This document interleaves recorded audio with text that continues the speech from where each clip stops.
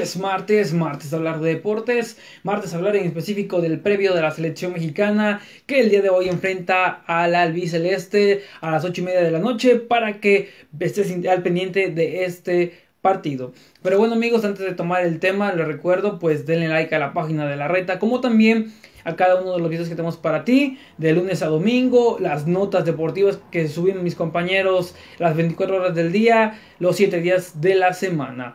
Eh, Aldo de la Red te saluda como cada martesito con un video nuevo. Espero te interese este y le des like y lo compartas. Pero antes tengo una información relevante que darte. Si quieres echar la reta, ve a Fábrica de Balones Race, que te ofrecen balones de excelente calidad para tus partidos de Seven, Liga e incluso publicitarios para tu empresa. Ubícanos en calle 33 entre avenidas 5 y 7 en la ciudad de Córdoba, Veracruz. Balones Ruiz con garantía de gol.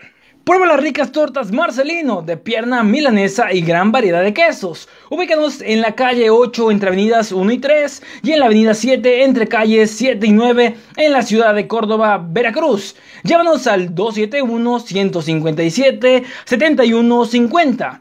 Las únicas tortas Marcelino. Continuando con el tema amigos, el día de hoy enfrenta a la selección mexicana, al albiceleste, a la selección de Argentina, pero pues digamos, cuando te dicen vas a enfrentar a Argentina en San Antonio, Texas, eh, bueno, sin importar el lugar, enfrentar a Argentina es pues un paso muy grande, un partido que te puede ayudar mucho a sobresalir pero después de ver las bajas y de los jugadores que no están presentes, quizá te pueda llamar un poco menos este partido, pero aún así es interesante para ver a los jugadores de la selección mexicana que pueden meterse al cuadro titular o mínimo ser considerados en las próximas eh, convocatorias para partidos eh, en fecha FIFA y sean oficiales. Pero bueno amigos, eh, las bajas de la selección argentina, algo relevantes, Giovanni Lo Celso que ya va de regreso a Londres debido a una lesión.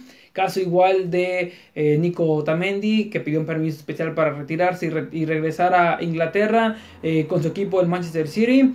Eh, también Marcos Acuña, serían los jugadores de Argentina que estarían bajando de la convocatoria. Y el caso Messi, que también ya era considerado desde antes que no iba a estar presente para este partido. por parte de la selección mexicana, cinco bajas. El primero Andrés Guardado que pidió un permiso especial debido a que en próximos días será padre.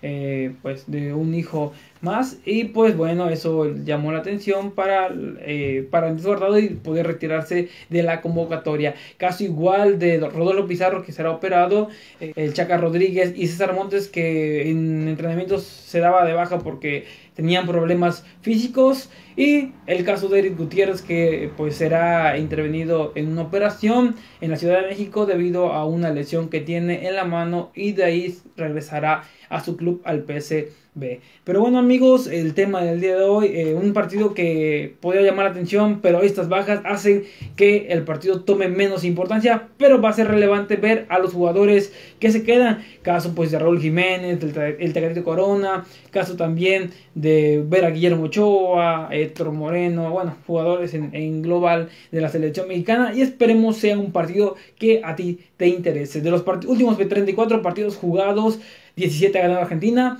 3 empates y 4 la selección mexicana. Así que pues no nos ha ido tan bien contra la albiceleste. Veamos cómo nos va el día de hoy martesito. Y bueno, te dejo el video, espero te interesa y le des like y lo compartas. Me retiro, Alto de la Rosa te saluda como cada martes. Espero te interese y nos vemos hasta la próxima.